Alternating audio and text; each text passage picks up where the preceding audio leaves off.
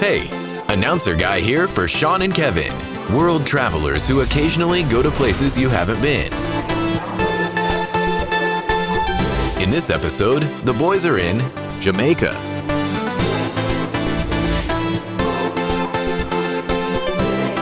So settle in and welcome to Travel by Numbers.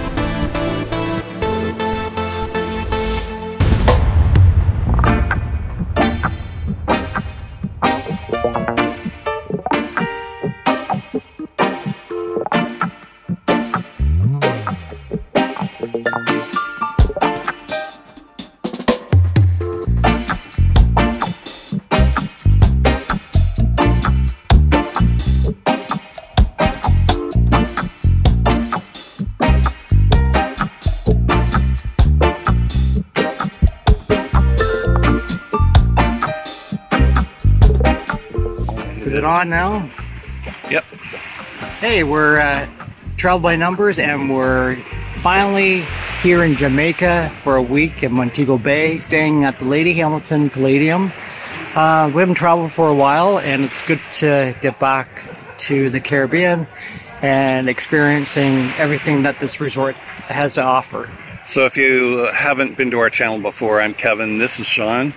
Uh, we were actually at this resort uh, 13 years ago in 2011, but back then we weren't vlogging. So uh, we took an opportunity to come here again here in 2024. So uh, we're going to show you around. We're here for a week. Yeah, and there's a few things that have changed, and we also we'll also point that out as well about the differences from the, our first trip and our current stay.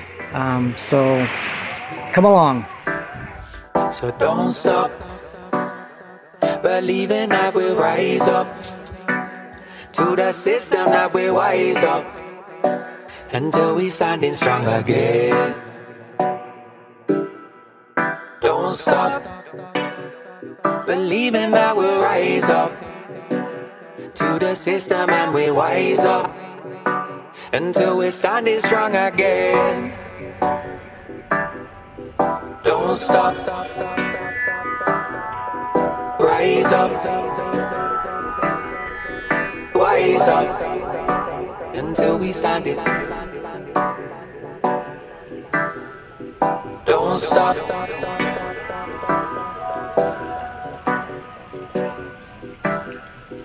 Rise up, standing strong again.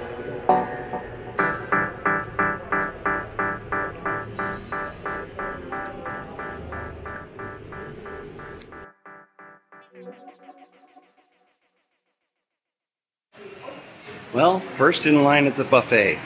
What does that say about us?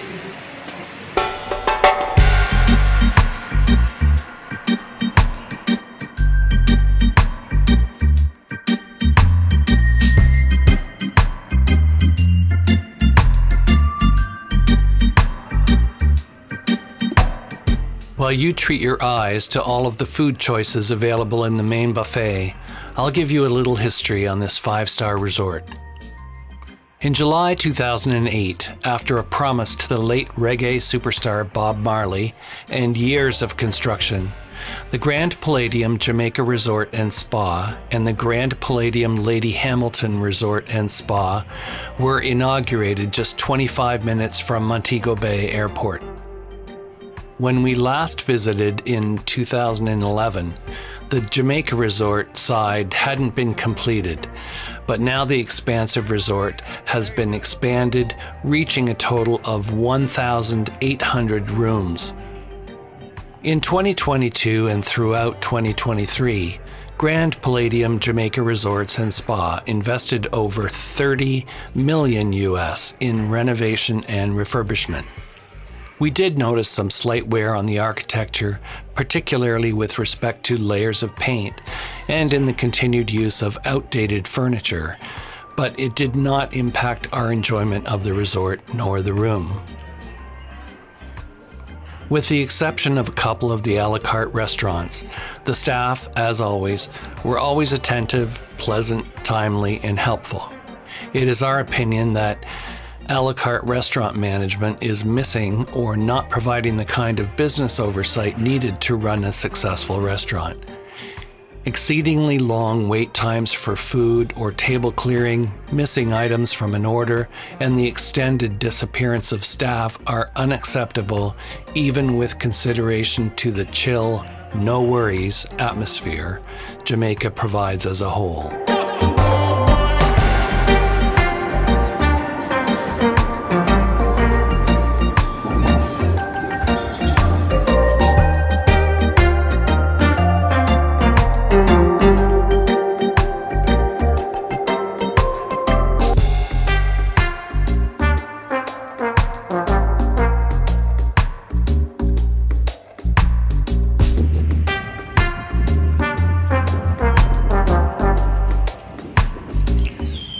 Covered walkways here so that you don't have to walk in the rain or the sunshine.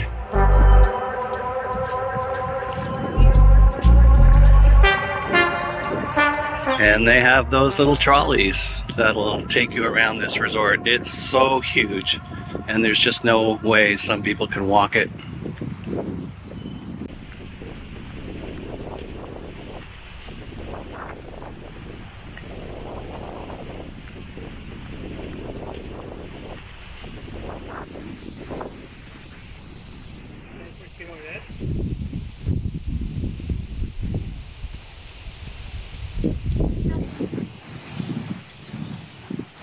The big red chair. Hope it doesn't fall back on like the Graham Norton show.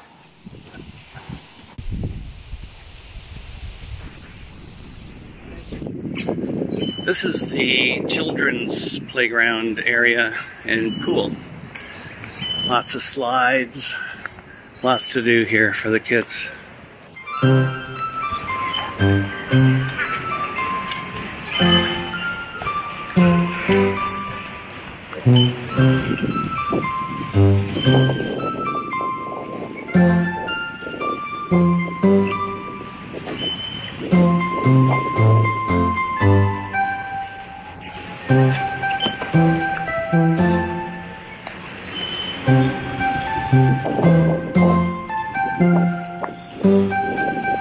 This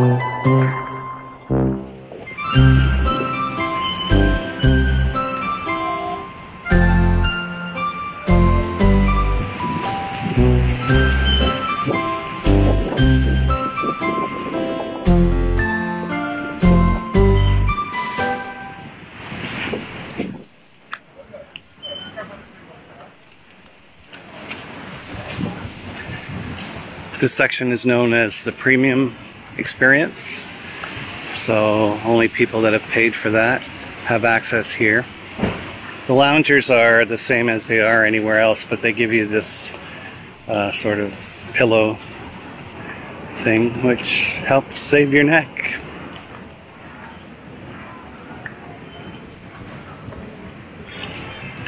And just so you know where that's located, we're at the big pool.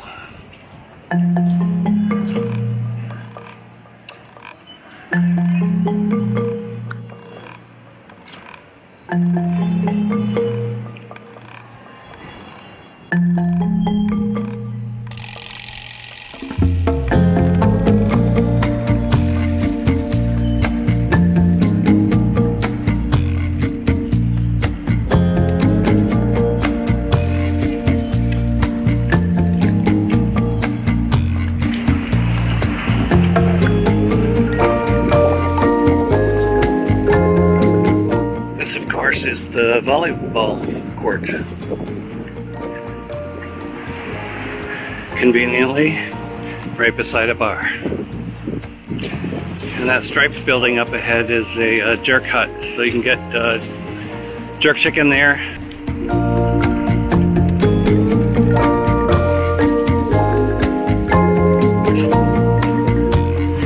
They have uh, lifeguard stands here. Um, a lot of them, actually. There's one, two, three, four that I can see just on this beach alone. Uh, they're everywhere though, which is a good thing.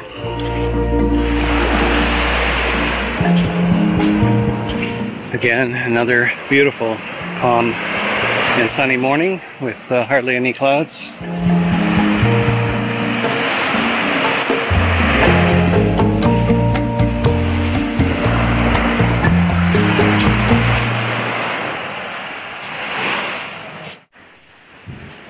This is Sean's favorite pastime.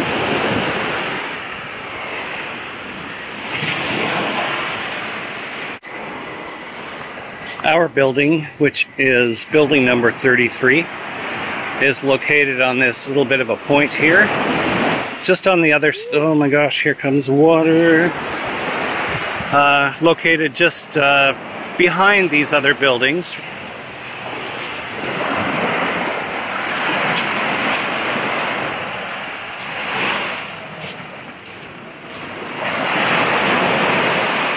Probably one of the furthest walks from the buffet and the restaurants.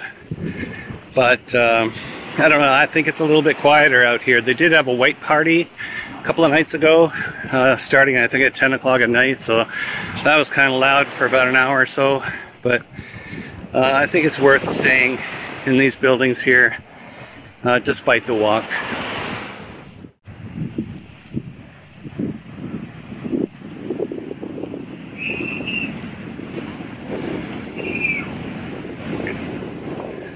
Like Screaming Kids show? I do not.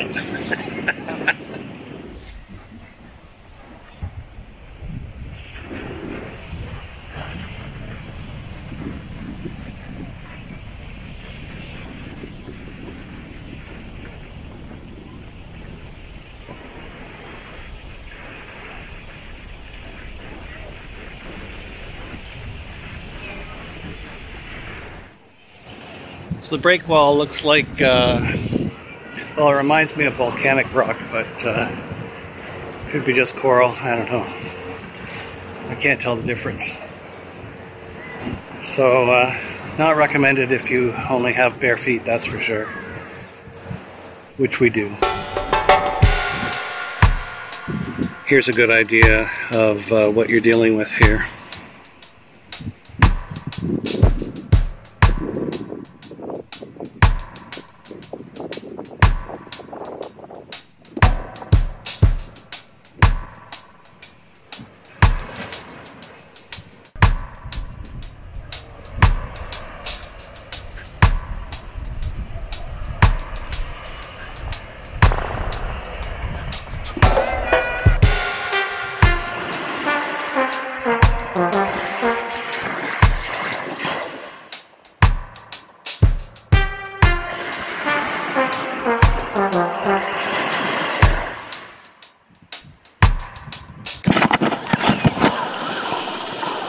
There's actually two break walls here, uh, which cut down on the wave height hitting the shoreline here. So this is the first one.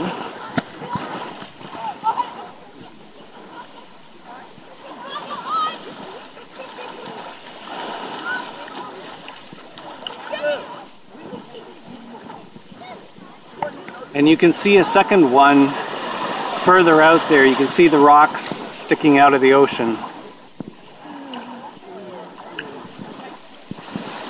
So you can actually get around this break wall on either side of it because there's some swimming space between the break wall and the buoys that you see out there.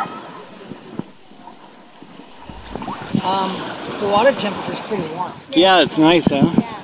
And the pools are similar to the ocean, to be honest. Yeah, that's true. So That's we're true. we're traveling mid-April. So The rainy season, they say, starts mid-April on, so yeah, so we've had really good weather. So it's about nine o'clock in the morning, and we're sitting at one of the larger beaches here at this resort. Uh, I'm not even sure how many beaches there are here. uh, I'll put a number on the screen though.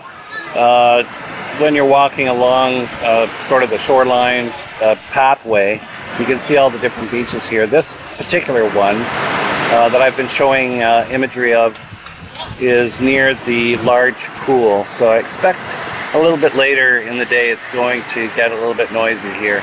I do know that uh, the one that we went to yesterday, where one of the two uh, jerk chicken shacks uh, is, that particular one, if you're facing the ocean, that beach is the furthest one from your left. Uh, and I think it's probably equivalent in size to this one, if not maybe even a little bit bigger. I know it seems like there's uh, more rows of chairs than that other one. Here, there's only two rows of chairs. Um, but anyway, this is near, of course, uh, the majority of restaurants and whatnot, including the main buffet and the secondary buffet. Convenient for lunch. I think a little bit uh, later this morning, 10 o'clock or so, there's a lady that comes by this resort with coconuts and uh, you can get a fresh coconut. Uh, she empties out a little bit or you can uh, take some of the coconut water out and she'll put some rum in it for you. I think it's $5 per coconut. So we're gonna try and do that this morning. Beautiful day though. Seems like every day starts with beautiful weather, hardly any clouds, lots of sunshine, and then later in the afternoon, darkness looms. But to be fair, yesterday it looked like it was going to rain all afternoon, and then it never did. So that's what you get almost anywhere in the Caribbean. It's kind of like that. Even when it rains, it's very, very short, maybe 15 minutes, and it blows by. Today we went and visited the Coconut Man. He's located at the Grand Palladium on the Jamaican side. Right behind the kids' water park, you walk a little further down, you'll see the beer time. He's usually there around 10.30, not every day. Apparently, once the coconuts are there, they go quite quickly. One per person, and of course, you need to send them a tip. It's delicious. And on your way back to your beach chair, make sure you top it up with some coconut rum at the main beach. Mm. That's the tip of the day. Pro tip.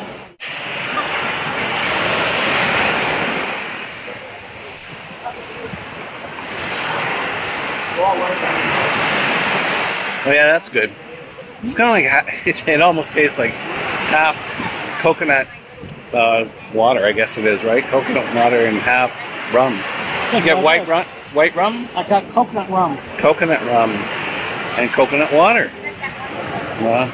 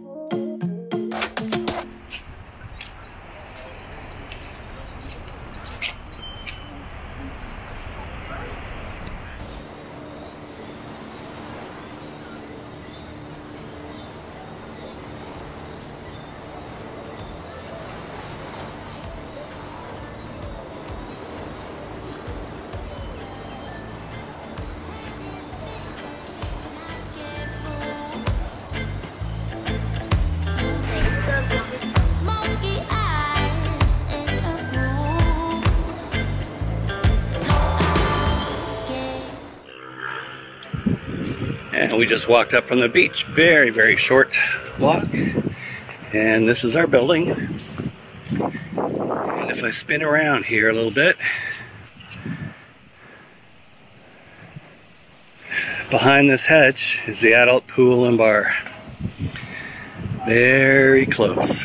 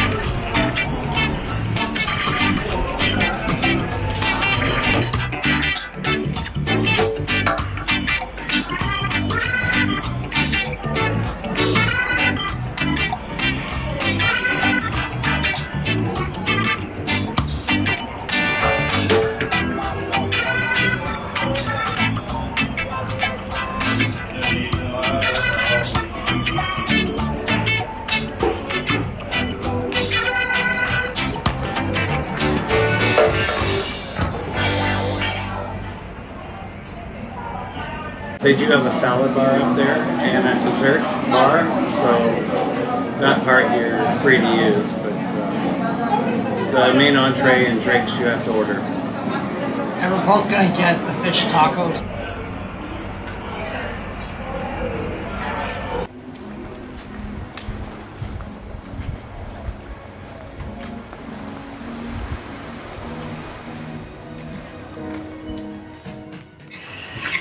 So every day our fridge is, uh, our mini fridge is filled up with um, Sprite, Coke, Diet Coke, big chocolate bar, chips, peanuts, water. Uh, did I say beer? Beer, Red Stripe, and I think the other brand is called President or Presidente beer. Yeah, look, the service has been pretty good here, but sometimes it's hit, hit or miss. But overall, I would say the service was pretty good.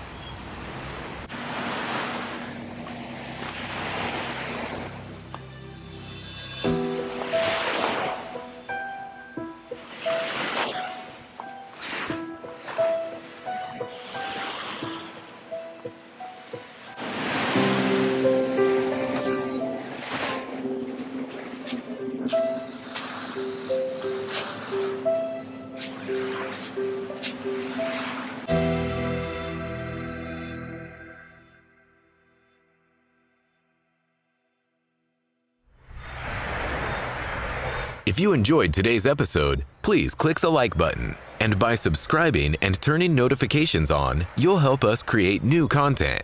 Thanks for watching. And remember, experiences, not things.